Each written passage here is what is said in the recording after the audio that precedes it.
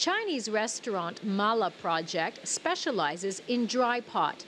Guests pick their own ingredients that are cooked and combined with 24 different spices and served in a bamboo bowl. Dry pot originated in China's Sichuan province and is relatively unknown in Manhattan. Ning Kang opened the restaurant just over two years ago. Wanting to spread the word, she posted an article on WeChat. It's a small, simple article, um, but it, the impact was very, very direct, and you can see um, you can see the result right away.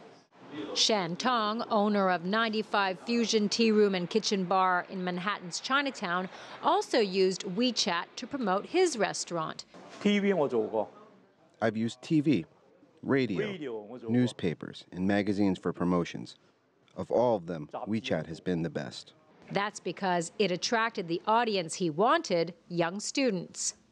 The increase in WeChat's influence here in New York City is a direct result of the increase in the foreign born Chinese population here. Between 2000 and 2015, that population has risen roughly 50 percent. Many of the new arrivals are young Chinese students who rely on Chinese social media to navigate the city.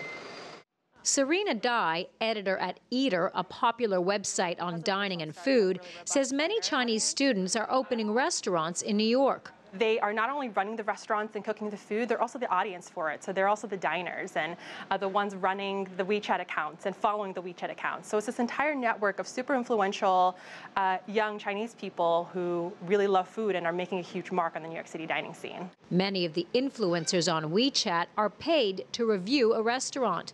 Dai says that doesn't deter followers. They really just want to hear from people who understand their palate and understand where they're coming from.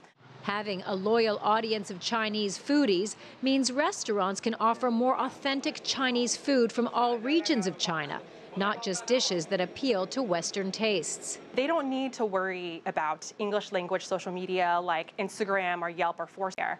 Um, they are filled to the brim anyway just from doing WeChat. Karina Huber, CGTN, New York.